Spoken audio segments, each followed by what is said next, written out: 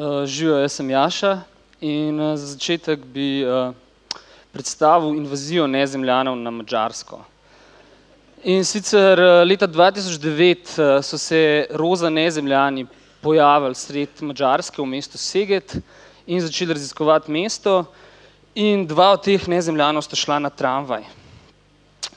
In na tramvaju sta se vozila, na kar na tramvaju stop kontroler kart in kontrolira karte, preverja, preverja karte, kontrolira in naenkrat pride do dveh roza nezemljanov na tramvaju in je predvsej v dilemi, kaj bi zdaj naredil, ne, kako bi pristopil zadevi, ampak služba je služba in jo nagovori zelo v taki pravilni mačarščini, če mu lahko pokažete vozovnico. Uh, vesolca probate z njim komunicirati, ampak očitno je, da karte nimata in seveda dobita kazen za to, ker se vosta brez uh, veljavne vozovnice, ampak kljub temu nadaljujete pot naprej na tramvaju in pridete do končne postaje tramvaja, stopite ven, se razgledate, vidite, da ste sred nekega čudnega predmestja, probate iti nazaj na tramvaj, ampak to jim ne uspe, zato ker so v mestnem času prišle ukrepitve in sicer pet orjaških mađarskih uslužbencev tramvajskega podjetja jima fizično pripričuje, da bi se vrnila nazaj na tramvaj in on dva probata parkrat se zmuzniti z različnih strani, ampak pol v končni fazi obupata in uh, opazite neko garažo v bližini in greste do te garaže. In uh, v tej garaži odkrijete eno skupino mađarskih mehanikov, ki pa uh, pač kot mađarski mehaniki to ponavadi, nimajo nekaj prazno pomembnega za početi, ampak pač sedijo tam naokrog in ko opazijo vesolce, so blazno navdušeni, začnejo z njimi komunicirati in se razvije cela neka igralnica v tej garaži med vesolci in mađarskimi mehaniki, na kar se je v enem momentu pojavil policija na prizorišču, mađarski policaji stopijo iz avta, takoj pretečejo te um, uslužbenci s tramvaja, in začnejo s prstom kazati na vesolce in zahtevati od policije, da aretira vesolce za kršenje javnega reda in miru. Mehaniki to opazijo in se seveda vključijo v debato in začnejo še bolj odločno zahtevati, da se vesolce absolutno ne aretira in da se jih pusti primer in da so vesolci obiskovalci in da ne poznajo naših navad. In uh, policija se naenkrat znajde v situaciji, ki mora tukaj pač te tramvajiste na eni strani in te mehanike narazen držati, da se ne bi oni tukaj pretepali sred belega dne vesolca pa stojite ob strani in opazujete to predstavo. Mm, ta dva vesolca sta mm, člana naše skupine in te dogodki v Segetu so del projekta električne invazije, ki ga izvajamo. Uh, zdaj bi se pa premaknili na drug konc sveta in sicer v New Yorku so leta 61 odprli razstavo Matisovih del in to je uh, slika Le Bateau, Enrija Matisa. In razstava je bila kar obiskana, v prvem mesecu dni je obiskali 100 tisoč ljudi to razstavo. In uh, po 46 dneh, oziroma natančno po 46 dneh, je pa ena starejša gospa, Genevieve Hebert, prišla in uh, si ogledala to sliko in je opazila nekaj čudnega na tej sliki. In sicer, uh, a kdo ve, kaj je opazila? Ne, dobro, dobro ampak ne. Uh, opazila je, da je slika obrnjena na glavo.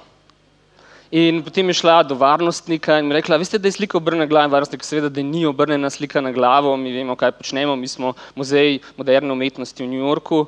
In potem je šla višji in višji in noben jo ni hotel poslušati, v končni fazi je napisala pismo New York Timesu, da je ta slika obrnjena na glavo. In šele potem je uh, muzej moderne umetnosti v New Yorku sliko obrnil Ne? Razlika je v nebo upijoča. Uh, se mi zdi, uh, ja, no, in to je pač ena anekdota, ampak se mi zdi, da je mogoče ponazarja en izmed razlogov, zakaj se dosta uh, mladih uh, umetnikov in uh, umetniških kolektivov razmišlja o nekih novih principih dostopanja do uh, javnosti, do ljudi, do iskanja nekega stika in nekih novih načinov delovanja. In uh, za nas, Uh, uh, pač ne, oziroma ne bom šel na zgovor. Najprej bom povedal še nekaj uh, o skupini Vojna. In sicer skupina Vojna je ena petersburška uh, aktivistična skupina, ki je uh, nasprot uh, glavnega štaba KGB-a v Petersburgu je en dvižni most. In ta skupina je v 23 sekundah letos uh, narisala 65 metrov dolg penis na ta dvižni most. Zakaj so ga narisali v 23 sekundah? Zato, ker uh, so po 23 sekundah bili aretirani in uh, pridržani dva dni in jih je KGB zaslišvala. No, ampak kljub temu so slike pač te akcije prišle ven in zaokrožile po svetu. In uh, kar je zanimivo pri tem, uh, pri tej umetniškem delu, je to, da ta penis ne vsako polno uro, ne, se, uh, ker je to dvižni most, doživi erekcijo in se postavi nasprot temu centru KGB-ja. Um, skratka, zdaj imamo pripravljeno pa eno uh, statistiko o preživljanju prostega časa. Uh, ok, no, dobro. Uh, nimamo, nimamo v bistvu popravljene statistike o preživljanju prostega časa, ampak ker sem videl, da ste že prej tako uh, sodelovali, bi vas mogoče prosil, evo, da izvedemo še eno anketo tukaj. Uh, a mi lahko uh, po pravici poveste, uh, koliko od vas, če lahko dvignete roke, tisti, ki ste v zadnjih dveh dneh gledali uh, kakšno oddajo na televiziji? Če lahko dvignete roke. Ja, ok. Ja, televizija, ja, super, kakšne reklame od Aljoše ste videli najbrž. Ja. Ok, super. No, zdaj pa tisti, ki ste bili v zadnjih dveh dneh uh, v kinu, če lahko dvignete roke. Ja, ja, manj, manj, predvsej manj. Uh, kaj pa kdo od vas je bil v gledališču v zadnjih dveh dneh? Vidim dve roki pa eno tam od zadaj. Okay, kdo od vas je bil po zadnjih dveh dneh na razstavi sodobne umetnosti ali pa v muzeju sodobne umetnosti? Okay, ja, ene par, aplauz za te, ki ste bili. Super, čestitam.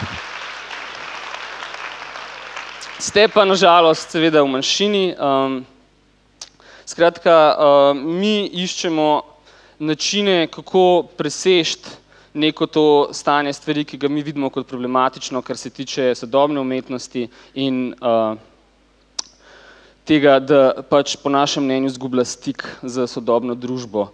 In uh, za nas je en zelo inspirativen model uh, balijsko gledališče. In sicer vidimo, da v balijskem gledališču, zdaj bom uporabil to Ta, ne, ne delati. Aha, tukaj imamo na sredini dva igralca, ki sta uh, uprizarjata vse glavne uh, like. Okrog njiju, to, kar pa vidimo, pa niso pasivni gledalci, ki so plačali karto in zdaj tam sedijo in čakajo, kaj se bo zgodil, ampak so v bistvu to. Um, Dobar dan.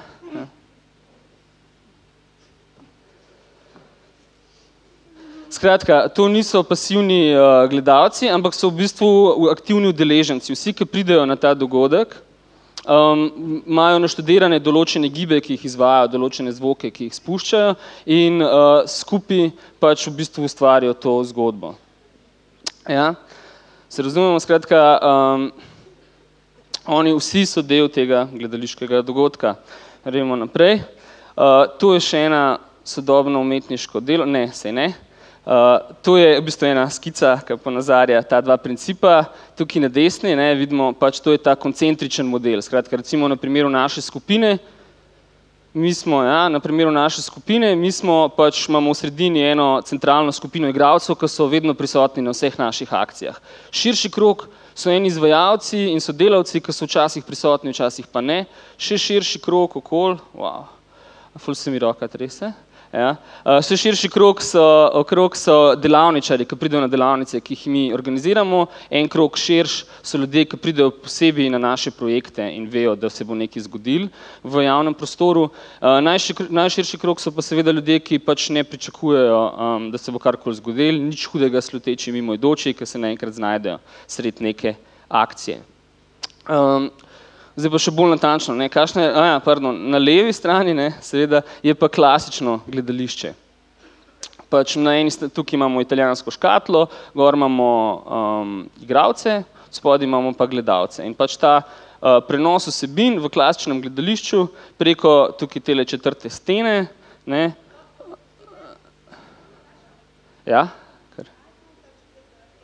četrta stena je tale črta tukaj v sredini, je neka navidezna meja med gledalci in igravci. In zdaj ta navidezna meja pomeni to, da se uh, igravci delajo, da v bistvu niso tukaj in mi se tudi delamo, da v bistvu nismo tam, kjer so oni, ampak mi kot neki vajeri zdaj njih gledamo kao v nekem drugem prostoru. Skratka, da ne bi bili skupni. Ja? Medtem, ko uh, Pač, v cikličnem modelu je pa seveda logično, ker so vsi pač do različnih uh, stopenj aktivni, da pač gre za neko komunikacijo in da se ta vsebina nastaja v komunikaciji in da skupaj pač tvorimo nek, uh, na zdravje, nek uh, kulturen dogodek. Recimo tukaj imamo en primer ene udeleženke, ki pač aktivno sodeluje pri nastajanju uh, pač tega dogodka. Ali pa če gremo naprej, ne, še ena stvar, ki je zanimiva pri naših akcijah, je to, da kadar se mm, ljudje nepričakovano znajdejo pač soočeni z neko potencirano drugačnostjo v javnem prostoru, se v bistvu to ni isto, kot če bi bila neka problem ksenofobije prezentiran v obliki nekega filma, ki si ga ogledujejo. Ampak oni se morajo opredeliti, kako bojo na to reagirali. In njihova reakcija, kakršna koli že je, v bistvu tvori ta naš uh, dogodek. Si predstavljate, če bežijo, je pač to, da oni bežijo, pač tudi uh, del predstave, seveda. Ali pa če recimo grejo v vodnjak. Ena stvar, ki nas še zelo zanima, seveda je pač eh, uporaba javnega prostora. Nam se zdi, da pač javni prostor ni nekaj, kar ti uporabiš, da prideš od točke A do točke B, ampak je lahko tudi veliko več kot to in ima blazne potencijale. Um, okay. I, to je naša pujsa Pepa, ki pa ne vem, kaj dela v tej prezentaciji. Um, Tole je en pripadnik ene manjšine, o katerih smo slišali pač že, uh, že na začetku današnjega TEDx-a. In zanimivo je, kako zelo pač pripadniki nekih takih manjšinskih skupin pozitivno reagirajo na nezemljane. Nekak so, te, so oni najbolj ta, te, ki pač v bistvu na lastni koži čutijo te probleme ksenofobije in drugačnosti in nesprejemanja drugačnosti uh, in se zelo, uh, načeloma zelo redo razumejo med sabo. Sploh, če imajo pivo. Pač, ne tako, za, za deliti ga. In uh, skratka, kaj je naš glavni cilj? Je pač to, da iščemo pač neke neposredne, direktne odzive uh, ljudi v javnem prostoru. In uh, za doseganje tega je pa zelo važno, da se ljudje ne sprašujejo v smislu, kaj se zdaj pričakuje od mene, kakšen je zdaj kontekst tega, jaz sem prišel tukaj, jaz se moram usesti, moram ploskati, ampak da so nekako sproščeni in da spontano reagirajo. Pač, uh, brez obremenjevanja o sodobni umetnosti in orodje, ki ga za to uporabljamo, pač uh, zelo radi in je zelo učinkovito, je pa um, presenečenje.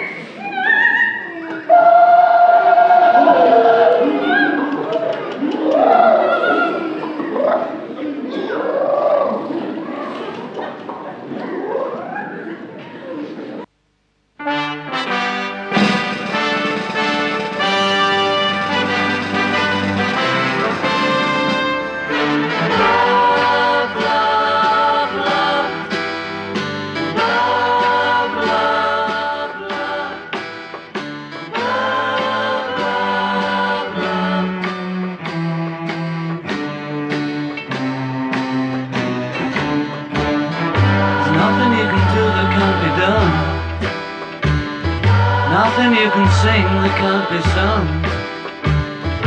Nothing you can say, but you can learn how to play the game.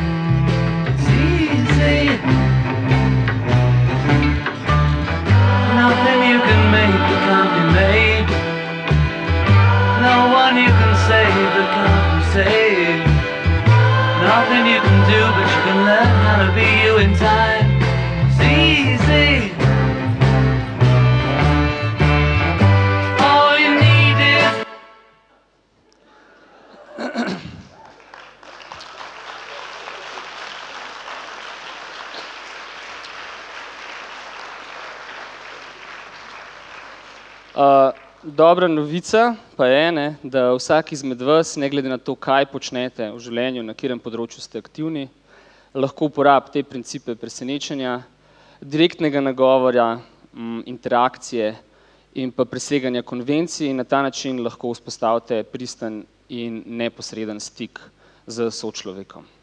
Hvala.